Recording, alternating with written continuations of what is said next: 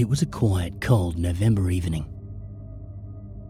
Usually, I wouldn't dare to set foot outside at this time, especially since the sun had vanished behind the monoliths that are peaks behind the Alps.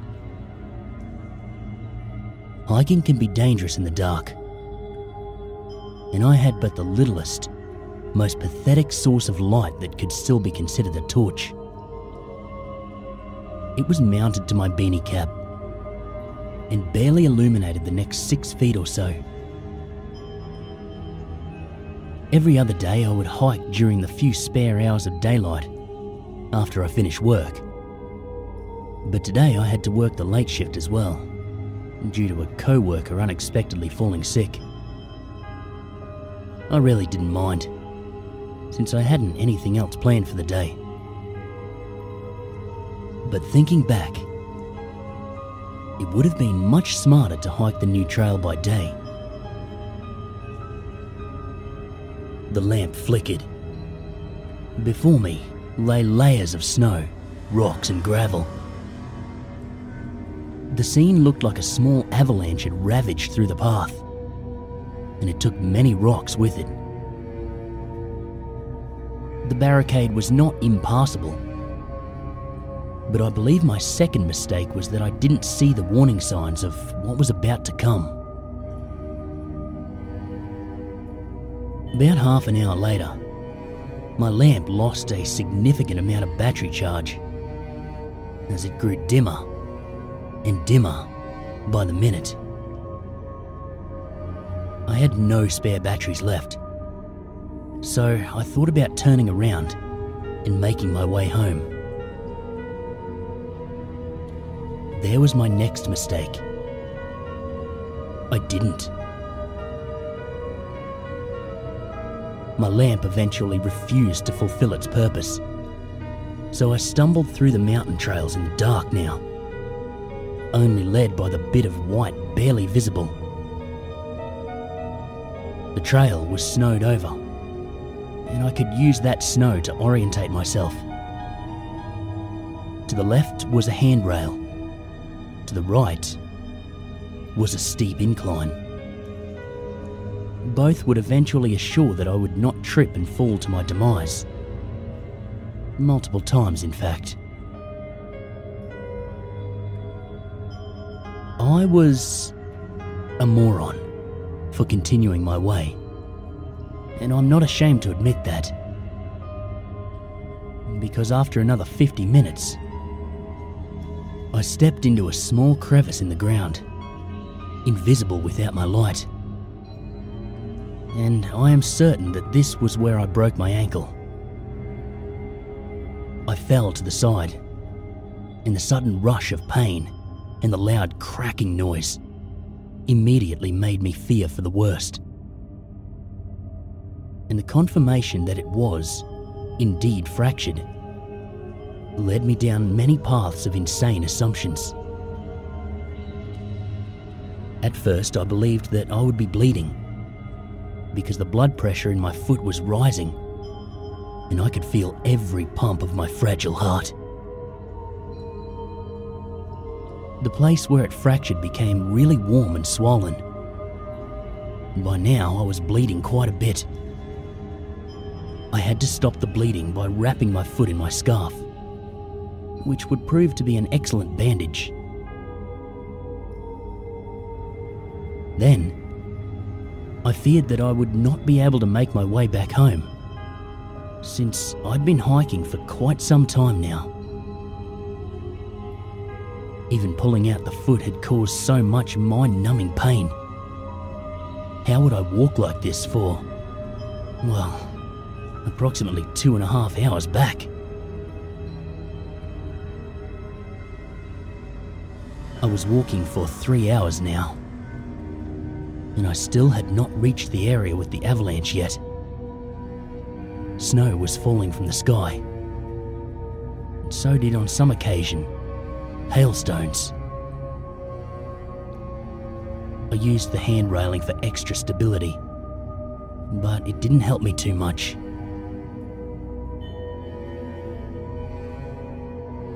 It must have been way past midnight now, while the sun was still hours from rising. I knew I had reached the area of the avalanche and had some trouble passing by. While I did manage to cross it, I looked up to the place of origin. A large piece of snow was missing from an overhang some 60 or 70 feet above me. On its way down, it must have hit more than just a few rocks, though. As now, I took my time to actually observe the pile of snow. It contained human remains. I'd left my phone at home that day, which also explained why I was not able to call an air ambulance to my position. But neither could I now report the untimely passing of a fellow hiker. Did I mention that I'd made some really stupid mistakes? Well, I made another. I was sure that the body had not been here before. Because I didn't remember seeing it the first time I passed. I came closer to observe it. When suddenly, its hand started to reach for me. I ran.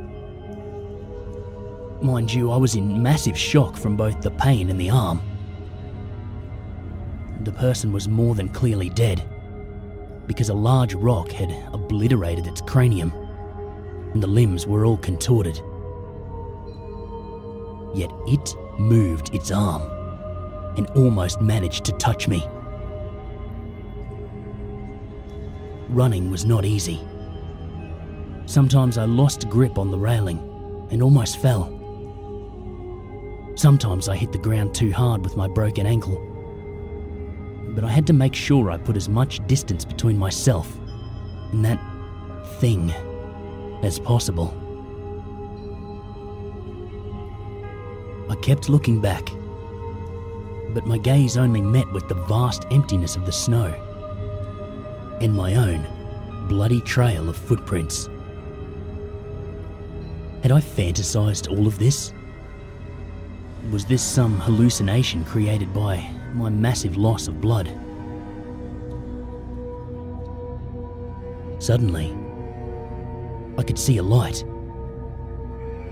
Somebody was walking towards me, and they had light. I started yelling, and as they saw me, they froze. Probably 20 feet before me stood an elderly woman who had the biggest look of pure terror and distress on her face that her facial muscles had allowed her to have. As she slowly started to point behind me, I turned my head and I locked eyes with a large, dark, hunched over figure. Well, Locked eyes would be an exaggeration. The figure had no real head. Whatever was left in that smashed visage could only be described as looking into the pits of hell. If they were comprised of human bone and flesh. For it had the most mangled body I'd ever seen. The woman started to yell some incomprehensive words as everything went numb.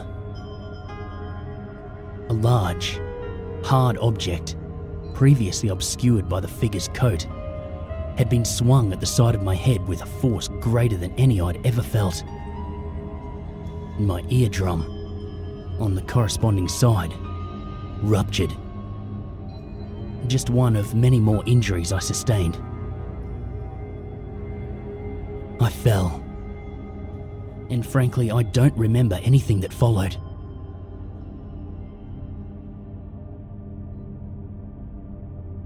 I awoke in a cabin. I was positioned in an armchair, wrapped in warm blankets, and had my feet placed in a tub of warm water.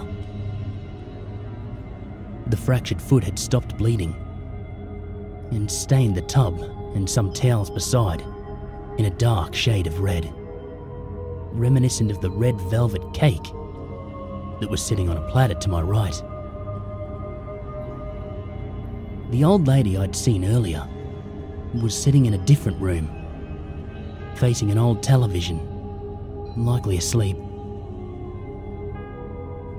As I looked back at my foot, I realised that my head didn't hurt anymore. And as I raised my hand to inspect the wound, I realised that there was, in fact, no wound at all.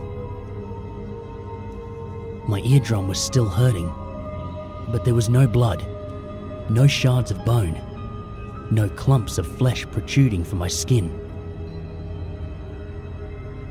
It seemed as though it had just vanished. After a while, the lady woke up.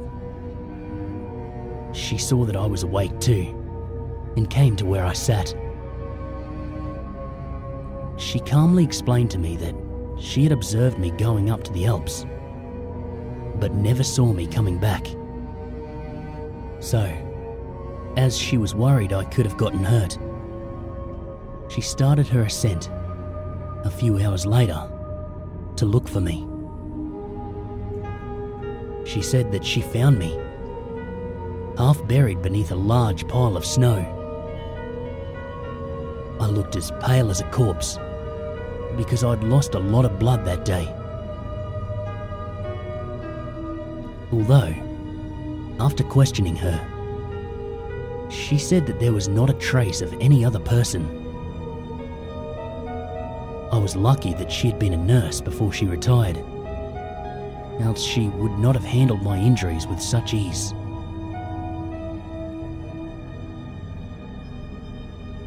I noticed a large photograph on her wall. The man that was pictured had similar clothes to the corpse I hallucinated in the snow. So I asked her about it. The same expression of pure terror and panic overwhelmed her. The man I had been sure I had seen was her husband. He died in an avalanche 25 years ago, and his body had never been found. Hikers claim this region of the Alps to be haunted, and that they are plagued by sightings of a body in the snow. These sightings become drastically more common during or after an avalanche is struck. She claimed that after his death, avalanches and avalanche related deaths became much more common and that I was one of the very few lucky people to leave this trail alive. One thing is sure I will never go hiking in the Alps ever again.